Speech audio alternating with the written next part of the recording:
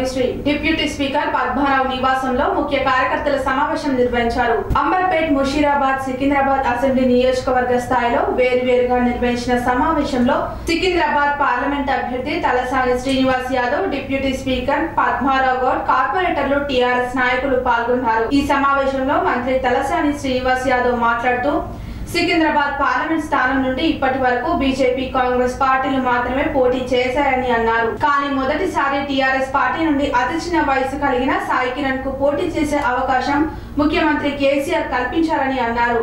రానున్న రోజుల్లో కేసీఆర్ నాయకత్వంలో అనేక సంక్షేమ కార్యక్రమాలు చేపట్టడం జరుగుతుందని తెలిపారు. ఇబ్బందికరమైన వాతావరణం కనిపిస్తుందా అంటే ఎక్కడ వెతికినా కానీ కనిపించలేదు అది తెలిసి తెలియక ఎట్లా జరిగిందేమో కానీ ఏదో ఒక వీడియో వైరల్ పెట్టేసి అట్లా ఇట్లా అని చెప్పేసి దాన్ని బీజేపీ వాళ్ళు దాన్ని ఒక మంచిగా ఎలక్షన్ పంతగా వాడుకున్నారు. చాలా చోట్లలో నేను కూడా చెప్పడం జరిగింది.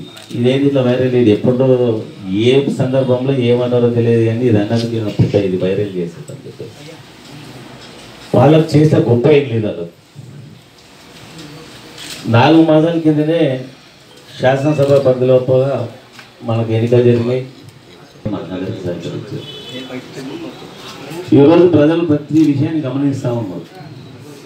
ఏదన్నా డెవలప్మెంటే కానీ రాష్ట్ర అభివృద్ధి కానీ జరగాలంటే ఒక ఉద్యమ పార్టీ నాయకుడు తెలంగాణ ఉద్యమాన్ని లేవదీసిన నాయకుడు ఆయన హయాంలోనే వాళ్ళ ప్రభుత్వం లోపలనే మనకి ఏదైనా మేలు జరుగుతాయని చెప్పి. అలాగే సంక్షేమ కార్యక్రమాలు దాదాపు భారతదేశ చరిత్రలు ఎక్కడ కూడా అంటే నేను దాదాపు ఒక ముప్పై ముప్పై ఐదు సంవత్సరాల నుంచి చూస్తా ఉన్నాను డెబ్బై ఐదు వేల కోట్ల సంక్షేమ కార్యక్రమాలు తీసుకుంటాం మనం ఈరోజు మనం. రాష్ట్ర బడ్జెట్ లక్ష కోట్లు అంటే దాని లోపల సంక్షేమ కార్యక్రమాల కింద డెబ్బై ఐదు వేల కోట్లు తీసుకుంటాం. పెన్షనే కానివ్వండి ఇంకా ఇతరత్నే కానివ్వండి ఒడ్డు మహిళ కానివ్వండి మన ప్రభుత్వంలో మన ప్రభుత్వంలో జరిగిన సంక్షేమ కార్యక్రమాలే కానీ డెవలప్మెంట్స్ కానీ నా ముప్పై ఐదు సంవత్సరాల రాజకీయ చరిత్రలో ఎక్కడ జరగలేదు. బహుశా పత్రికేయ మిత్రులకు తెలిసి ఉంటుంది మీకందరు కూడా తెలుసు. లోపల టీఆర్ఎస్ పార్టీకి సంబంధించి ఏడుట్లో దాదాపు ఆరుగురు టీఆర్ఎస్ పార్టీ ఎమ్మెల్యేస్ ఉన్నారు శాసనసభ్యులు ఉన్నారు. ఇంకొక శాసనసభ నియోజకవర్గంలో మనం మిత్రపక్షమైన ఎంఐఎం బీజేపీ పార్టీ ఎంపీ గెలిచినా కానీ పెద్ద ఆయన ఉద్ధరించేది లేదు. ఏ శాసనసభ పరిధిలో కూడా స్థానిక ఎమ్మెల్యేలే చేయాల్సి ఉంటుంది. సంక్షేమ కార్యక్రమాలు ప్రభుత్వం చేపడతా ఉన్నది. ఇక్కడ డెవలప్మెంట్ యాక్టివిటీస్ అంతా మన స్థానిక శాసనసభ్యులు చేయాలి. అలాగే సికింద్రాబాద్ పరిధి లోపల కూడా ఆరేడు మంది మనమే ఉన్నాం ఈరోజు ఒక పార్లమెంటు మెంబర్గా ఎన్నికైన ఎంపీ గారు కూడా ఇక్కడ మన గతంలో నిధులు రాలేదు. బండారు దత్తాత్రేయ గారు ఉండేది మనకి ఎంపీ నాకు తెలిసి మా సికింద్రాబాద్ పది లోపల ఒక పది లక్షల పంట రాలేదు పది లక్షలు మళ్ళీ సన్నద్దారులు ఇంకా మనం ఇచ్చిండేమో నాకు తెలియదు. మా సికింద్రాబాద్ మాత్రం పది లక్షలు రాలేదు. సంవత్సరానికి పార్లమెంట్ సభ్యులకి నిధుల కింద ఐదు కోట్లు వస్తాయి. ఐదు కోట్లలో ఐదు లక్షలు ఇచ్చిన పాపన పోలేదు ఐదు సంవత్సరాలు మొన్న రిజల్ట్స్ వచ్చినాయి. టూ డేస్ అయింది. రాజు కొంచెం లోకపోయింది అయితే అంబర్పేట కానివ్వండి ముషిరాబాద్ సికింద్రాబాద్. ఈరోజు నాయకులు కార్యకర్తలు ఇక్కడ కూడా మన పెద్దలు డిప్యూటీ స్పీకర్ గారు మధ్యాహ్నం గారు. అక్కడ అంబర్పేటలో కాలేరు వెంకటేష్ గారు ముఠా గోపాల్ గారు నాయన నరసింహారెడ్డి గారు అందరూ కూర్చున్నారు. రాజకీయాలల్లో ఇవన్నీ అప్ అండ్ డౌన్స్ జరుగుతూనే ఉంటాయి. పర్టికులర్గా సికింద్రాబాద్ పార్లమెంట్ ఏంటంటే దేశ రాజకీయాలు ప్రభావితం చేసే విధంగా. బట్ ఆ పరిస్థితులు ఏంటంటే మాకు ప్రచార సరిలలో ఎక్కడ ఎవరికి కనిపించదు మాకే కాదు మీ మీడియా పత్రికా మిత్రులు కూడా ఎవరికి కనిపించలేదు. హండ్రెడ్ పర్సెంట్ గెలుస్తామనేటువంటి నమ్మకంతో మేము ఉన్నాం. సరే బీజేపీ వాళ్ళు కూడా మొన్న కౌంటింగ్ అయ్యే వరకు క్లెయిమ్ అయితే చేయలేదు. సికింద్రాబాద్ మీద మేము గెలుస్తామని చెప్పి క్లెయిమ్ అయితే జరగలేదు. బట్ ఏదైనా కానీ ప్రజా తీర్పు శిర్ష వహిస్తాం. డెఫినెట్గా ప్రజలలో ఉండేటువంటి వ్యక్తులం మా కార్యకర్తలు మా నాయకులు మా కార్పొరేటర్లు ఉద్యమకారులు డెఫినెట్గా ప్రజల మధ్యలో ఉంటాం. మాకు దగ్గర దగ్గర నాలుగు సంవత్సరాల ఇంకా తొమ్మిది మాసాలు ఉంది. ఇంకా ఉత్సాహంగా పనిచేస్తాం.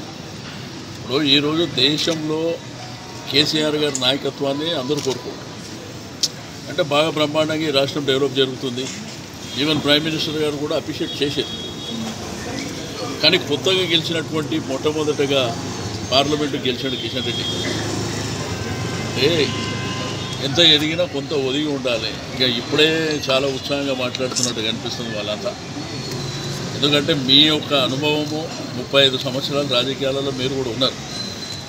కానీ మేము పెట్టింది మా ముఖ్యమంత్రి గారు పెట్టింది ఒక యంగ్స్టర్ని పెడితే మీకు వచ్చిన మూడు లక్షల ఎనభై వేలు మనకు వచ్చిన మూడు లక్షల ఇరవై రెండు వేలు ఎక్కడ తగ్గలే. సరే ఇప్పుడు అందరు రకరకాలుగా మాట్లాడుతారు డిసెంబర్లో ఏం జరిగింది? నవంబర్లో ఏం జరిగింది? డిసెంబర్లో మీరందరు గెలిచారు కదా అంటే డిసెంబర్లో మాకు ఎంత పోలింగ్ అయింది? ఈ ఎండాకాలంలో ఇప్పుడు ఎంత పోలింగ్ అయింది? దగ్గర దగ్గర పదిహేను ఇరవై పర్సెంట్ తేడా ఉంది. కానీ పోలింగ్ జరిగినటువంటి పరిస్థితులు. కాబట్టి ఈక్వేషన్స్ అన్నీ రకరకాలుగా ఉంటాయి. ఏది ఏమైనప్పటికీ బాధ్యతగా పనిచేస్తాం. ఈరోజు ప్రజాక్షేత్రం లోపల టీఆర్ఎస్ ప్రభుత్వం వచ్చిన తర్వాత చరిత్రలో లేని విధంగా ఇరవై నాలుగు గంటల కరెంటు డ్రింకింగ్ వాటర్ ఇంత సీవియర్ ఎండలు ఉన్నాయి. అయినా ప్రజలకు ఎక్కడ ఇబ్బందులు లేకుండా చూసుకుంటున్నారు. ఇక వాళ్ళు నిన్న మొన్న గెలవంగానే ఇక మతాలు గీతాలు ఇక ఏదేదో మాట్లాడేస్తుండ్రు. సంబంధ వర్గాలు సంతోషంగా ఉండాలి. అన్ని మతాలు అందరూ ప్రజలు సంతోషంగా ఉండాలని కోరుకునే వ్యక్తి ముఖ్యమంత్రి గారు. కాబట్టి ఏదో ఇల్లాలకంగానే పండుగ అయిపోయినట్టు ఇప్పుడే కాదండి. అందరం కలిసిమెలిసి హైదరాబాద్ని డెవలప్మెంట్ చేయడానికి మనం పోటీ పడదాం. అంతేగాని ఒకరినొకరు విమర్శలు చేసుకొని పోటీ పడడం అవసరం లేదు. ఎలక్షన్ వరకు ఆ ప్రాసెస్ ఉన్నది. వాళ్ళు చెప్పేది వాళ్ళు చెప్పుకుని మేము చెప్పేది మేము చెప్పుకున్నాం. రెండోది టీవీల పేపర్లో కూడా టీఆర్ఎస్ పదహారు సర్కారు కారు జోరు అని చెప్పేసి. ఎలక్షన్లల్లో పోటీ చేసినప్పుడు పదిహేడుకు పదిహేడు గెలుస్తామని చెప్తాం కానీ మూడు గెలుస్తాము ఐదు గెలుస్తామని ఒక రాజకీయ పార్టీ చెప్తారా? ఓ విచిత్ర వాదన వస్తుంది. ఈరోజు మనం చూస్తుంటే ఏదో పదహారు గెలుస్తామన్నారు. అంటే ఏ రాజకీయ పార్టీ అయినా కానీ హండ్రెడ్ పర్సెంట్ గెలుస్తామని చెప్తారు తప్ప ఒకటి రెండు గెలుస్తామని చెప్తారా? ఇంత దేశంలో ప్రభావితం జరిగినప్పటికీ హయ్యెస్ట్ అవుట్ ఆఫ్ సెవెంటీన్లా పది సీట్లు. అంటే తొమ్మిది మేము మిత్రపక్షం ఒకటి కలుపుకుంటే పది సీట్లు హయ్యెస్ట్ గెలిచింది మేమే. ఈడ ఆడ మూడు ఈడ నాలుగు గెలిచి కాబట్టి ఒకటి ఏంటంటే ఒక కాంబినేషన్. అసెంబ్లీ ఎలక్షన్ అసెంబ్లీ ఎలక్షన్లో పోలింగ్ జరిగినటువంటి వాతావరణం. మీరు ఒకసారి చూసుకోండి డిసెంబర్ వరకు వెళ్ళి ఆ కౌంటింగ్లో మా మా నియోజకవర్గాలు ఎంత పోలింగ్ జరిగింది ఇప్పుడేం పోలింగ్ జరిగింది. రెండోది ఏంటంటే సారు కా మన కారు సారు సర్కార్ అన్నట్టు అంటారు కదా. డెఫినెట్గా రాజకీయాలలో ఉన్నప్పుడు అన్ని సీట్లు గెలవాలని ఏ రాజకీయ పార్టీ అయినా కోరుకుంటుంది. దాంట్లో దీంట్లో స్పెషల్ ఏమి ఉండదు. కాబట్టి ఫస్ట్ టైమే ఒక వర్కింగ్ ప్రెసిడెంటు ఇవాళ టీవీ పేపర్లలో చూస్తే ఏదో ఫేర్ హైదరాబాద్ మున్సిపల్ ఎలక్షన్ అంతా కేటీఆర్ గారి సమక్షంలో జరిగింది. మొన్న మా అసెంబ్లీ ఎలక్షన్లో కూడా ఆయన్నే స్టార్ క్యాంపెయినర్ ఉండే. కాబట్టి ఒక ఓటమితోనే ఏదో జరిగిపోతుంది అనుకుంటే మరి తొమ్మిది సీట్లు మేము గెలిచినాం ఏమనాలి? కాబట్టి మా కార్యకర్తలు నాయకులు ఎక్కడ నిరుత్సాహం లేదు. మాకెవరు కూడా నేను అడుగుతా ఎప్పుడు కౌంటింగ్ ఎప్పుడైంది? నిన్న కాక మొన్న అయింది. నిన్నటి నుంచే బయటికి వెళ్ళినాం కదా మేము. కాబట్టి ప్రజా తీర్పుని గౌరవిస్తాం డెఫినెట్గా ఇంకా ఉత్సాహంతో పనిచేస్తాం. ఒక ఓటమి అనేది భవిష్యత్తుకు నాంది పలుకుతుంది. యువకుడు ఈరోజు దేశ రాజకీయాల్లో యువకులు రావాలని ముఖ్యమంత్రి గారు అవకాశం ఇచ్చారు. ఓకే ఏమైంది దీంట్లో? మాకేం తగ్గిందా ఓటు? మూడు లక్షల ముప్పై ఇరవై రెండు వేలు అంటే మజాక్ కాదు కదా? సికింద్రాబాద్ పార్లమెంటు చరిత్రలో ఎప్పుడు గెలిచినా లక్ష యాభై రెండు లక్షల మీద మెజారిటీతోనే గెలిచిన గతంలో. కాంగ్రెస్ వాళ్ళు బీజేపీ వాళ్ళు గెలుస్తాయి ఓటాపోటీగా అయితే ఉన్నది.